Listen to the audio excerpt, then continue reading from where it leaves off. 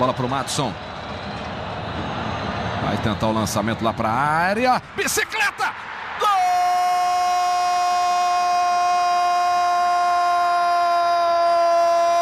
Golaço!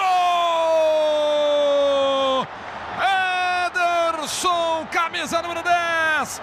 E que golaço no Mangueirão!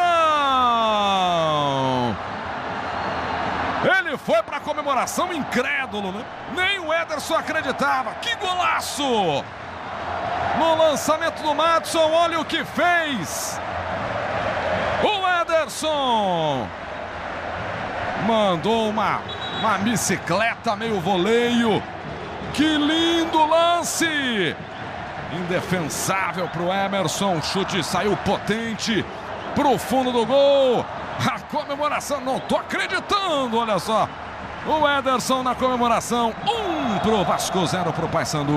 É, tá ali entre o voleio e a bicicleta, né? Passou um pouquinho do voleio, quase chegou na bicicleta. De qualquer maneira, lindo, maravilhoso, assim, é uma felicidade poder ver um, um gol desse é, no campo. Na TV já é muito bom.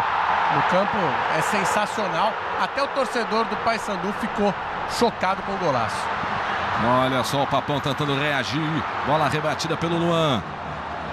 Ela fica disputada por ali. O Andrezinho tentou, sofreu a falta. É uma falta de muito longe. Está preparado lá o Thiago Luiz para fazer a cobrança. Arriscou o chute direto. Soltou Martins Silva.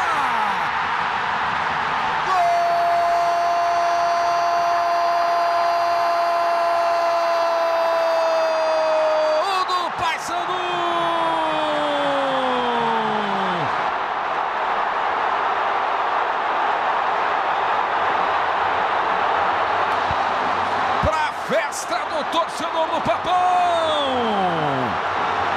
A cobrança de falta do Thiago Luiz. Veja que a posição era legal. O Martins Silva dá rebote. E o Paysandu empata o jogo com o Gilvan, camisa número 4. E o estádio está balançando aqui Belém.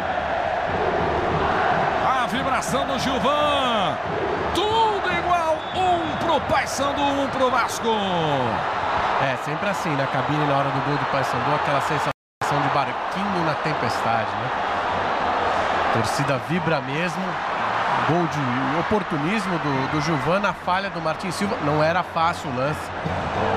Chute muito forte do Thiago Luiz, mas a distância muito grande. Espera-se de um goleiro da, da categoria do Martin Silva que não solte para frente uma bola como essa, mas aconteceu e tentativa do Leandro fez o levantamento, a chance do gol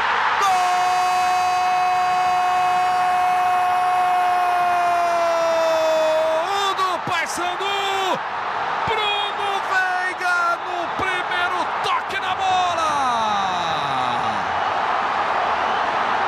O Paysandu vira o jogo. Bruno Veiga, camisa 11. Ele tinha acabado de entrar. Olha ele na primeira corrida, para dentro da área, estava livre. Absolutamente desmarcado.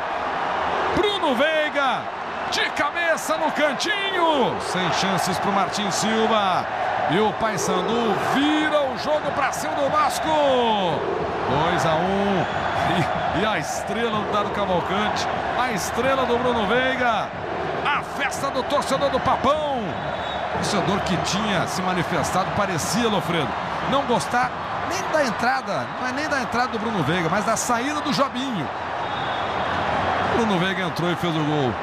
É, acho que agora o torcedor não tem o que contestar, né? Pode sair, poderia ter saído o Emerson.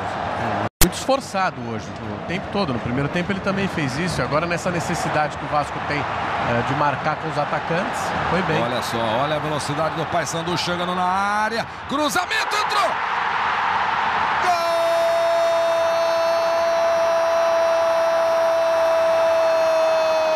Gol do Paysandu!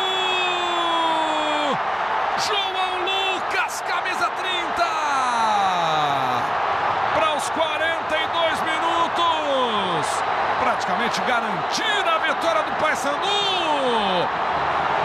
3 a 1 para cima do Vasco! Vasco.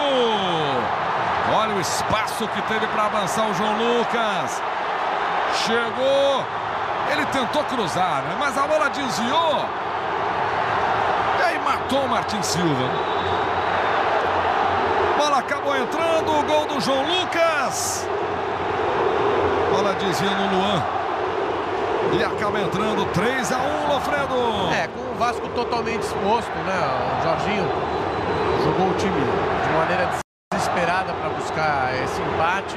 Colocou quatro atacantes, dois jogadores de meio campo que não tem característica de marcação, senão tem apenas como marcação seu ponto secundário.